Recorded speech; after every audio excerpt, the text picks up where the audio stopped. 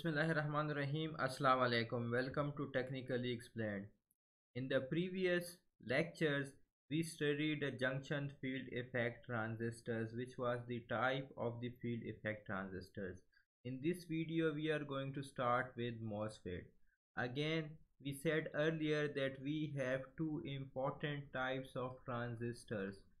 One is the bipolar junction transistors and the second is the field effect transistors.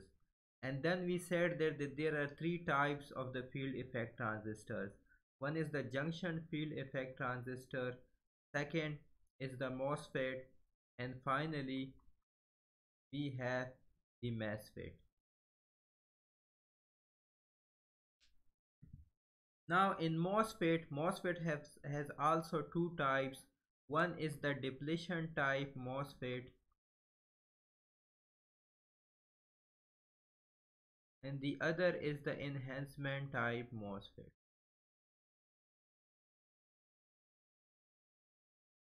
And again we have the N-channel depletion type MOSFET and we have the P-channel depletion type MOSFET. Similarly for enhancement type we have the N-channel enhancement type MOSFET and we also have the P-channel enhancement type MOSFET.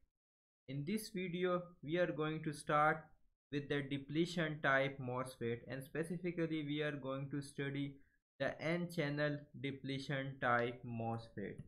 So first, let us study the construction of the N-channel depletion type MOSFET.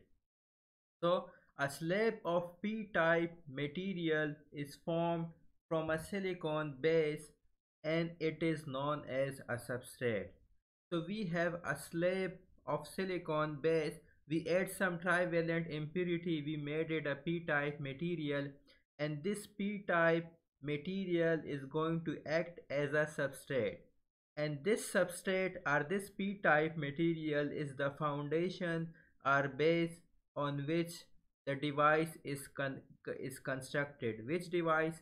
The n-channel depletion type MOSFET is constructed so it is the this substrate is the foundation or the base on which the n-channel depletion type MOSFET is constructed. We have two n-doped regions with metallic contacts. The drain and the source terminals are connected to these metallic contacts. So we have a drain terminal over here which is connected to this n-doped region through this metallic contact and we have a source terminal here which is connected to this n-doped region through this metallic contact. We have a channel between two n-doped regions that is we have a channel between drain and source. So this is our n channel and it is between drain and source. Then we have an insulated insulating layer of SiO2. This is my insulating layer of SiO2 that is the silicon dioxide and we have another metal contact and this and then we have a gate terminal connected to this metal contact. So the gate terminal is insulated from the n channel by the silicon dioxide layer. So we can say that the gate terminal is connected to the N channel but is separated by the silicon dioxide layer. There is no direct connection between the gate terminal and the channel and the N channel of the MOSFET. The, N the, the gate terminal is insulated from the N channel of the MOSFET to the silicon dioxide layer. We have another contact which is which is the fourth metallic contact and this contact is connected to this body of the substrate. And this we can connect a terminal called SS. So, so now in this case we have a four terminal MOSFET, four terminal MOSFET. But we can also but we, we can also see three terminal MOSFETs in this in which the drain and source terminals are connected internally so in some cases the drain and source terminals are connected internally. That's why we have three terminals. If not then we have four terminals when the substrate has a separate terminal. Now this because of this silicon dioxide layer the input impedance of the MOSFET is very high it is because of this insulating layer of the silicon dioxide SiO2 that the input impedance of the MOSFET is very high. We know that we said earlier that FET has higher input impedance than BJT but the highest input uh, but the highest input impedance among the FET is is of the MOSFET and that is because this insulating layer of SiO2. Now why is it called the MOSFET?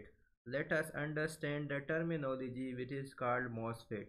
We have metal oxide semiconductor field effect transistor. Metal oxide semiconductor field effect transistor.